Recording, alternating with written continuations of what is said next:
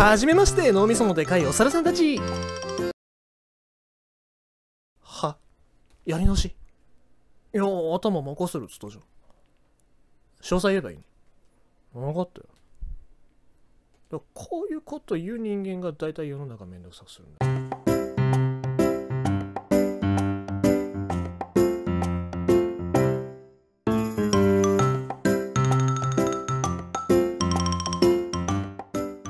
はじめまして。僕は Unity Asset Store に10ドルで売ってるアデリーペンギン。あいつがキャラ設定詰めてないせいでまだ名前がないんだ。で動きは SteamVR と FinalIK を使って Viveから取り込んでいるんだ。でもこのポンコツの技術不足のせいで口もまだ動かないよ。そんでねあのでくのぼうが。この動画は同種にしか出会わないことで自らが動物であることを忘れてしまった人間たちに動物の素晴らしさを思い出してもらい実際に動物園へ足を運んでもらおうという趣旨の動画です。僕は人間のみんなが大好きだてん。こんな感じかい？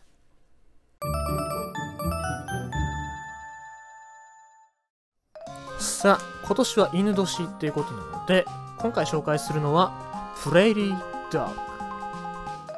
プレーリードッグは北米の草原地帯であるプレーリーという地域で巣穴を作り群れで生活しているネズミもクリス科の動物です。獣フレンズでも有名になりましたが挨拶の方法はマウストゥーマウスによるキスや抱き合ったりするなどかなり情熱的なコミュニケーションをとります。はい注目。この写真。いい写真でしょう。これ僕が撮ったんですよ。まあそんだけなんだけど、えー写真を見てるとオスメスがなんとなくわかる気がしますね。ちなみにこの子たちは一夫多妻制です。獣フレンズで奥さんみんな仲がいいのかなっていう話ありましたけども出産後の構想が激しくなると相手のメスと子供を生き埋めにしてしまうということもあるらしいです。生き埋めにしてやります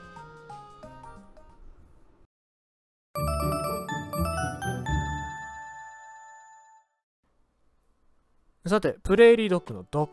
どこに犬の要素があるのかと思ったそこのあなた。あなた。実はこれ鳴き声なんです。警戒中、危険が迫ると仲間にその情報を伝えるために鳴きます。よく聞いててね。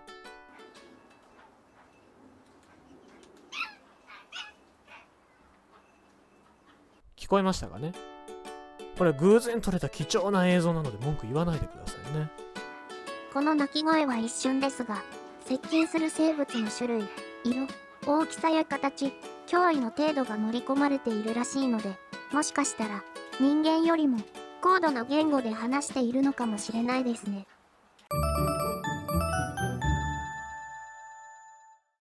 プレーリードッグは草原の管理人のような役割を担っており、草原の草が伸びすぎていると視界を確保するために短く刈り取ります。その後には栄養満点の新しい草が生えてくるので、それを求めてアメリカバイソンなどの動物たちが集まってきます。そして、プレーリーの作った巣穴は、彼らが出て行った後も、穴掘りフクロウのような動物たちが巣として利用します。さあ、みんなから愛されるプレーリードッグですが、彼らを邪魔者扱いする動物もいます。人間です。リーが作った巣穴に、放牧中の家畜が足を取られて怪我をしたり、畑に穴を開けたりするので、人間は彼らを害獣として扱い、大規模な駆除を行いました。駆除方法は、穴に水や洗剤を流し込み、出てきたところを捕まえたり、プレーリー専用の掃除機を作り、ホースを巣穴に入れ、彼らを吸い込んだりして捕まえました。結果、およそ30年で50億頭いたとされるプレーリードッグの98%がいなくなり、7種類中の2種類は絶滅。プレーリーを捕食していたクロアシーたちも絶滅寸前に追い込まれました。そして、管理人のいなくなった草原地帯は砂漠化が進んでしまい、人間もその地域では農作物や家畜を育てることができなくなりました。現在では彼らの役割が見直され一部の地域では保護するための施設や法律ができましたが、失われた命は自然にとっても人間にとっても大きいものだったようです。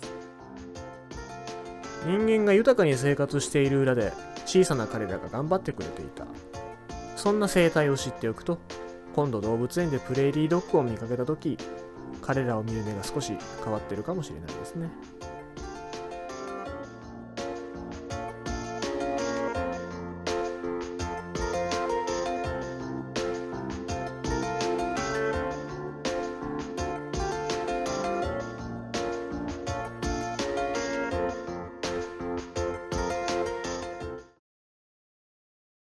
チャンネル登録またはマイリス登録のお願いをしろと。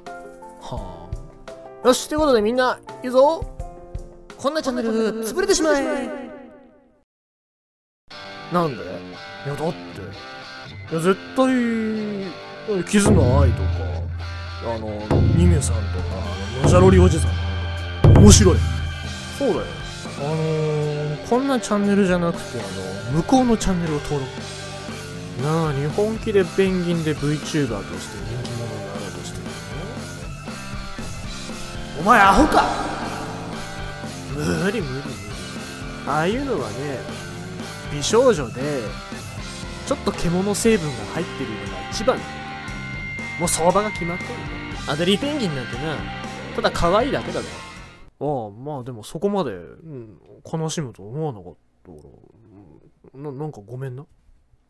まあ言うたら、ほら、あれがファンタオレンジだったら僕ポンジュースみたいなもんだから。押し込むな。ああんじゃ分かった分かった。お前みたいなポンコツプロデューサーにな、人気 VTuber になる秘訣を教えて。脇見せる脇。脇見せてたらみんな喜ぶから。ほら、よろしかろうもふもふや。ペンギン好きにしか需要がない。美少女 VTuber みたいに。露出度が高くないかもああそうか裸か。だいたいターゲット層どこなの幼児から小学生。無理無理無理。僕の口が悪いせいでそれは無理。こいつに何か継続させるの絶対無理ですって。皆さん覚えといてください。こいつアデリーペンギンの解説会が始まる前に飽きて終わると思います。なのでチャンネル登録なんてしなくていいよ。まあそんな感じで第1回終わりですけどもあいつが飽きてなければまた会いましょう。バイバーイ。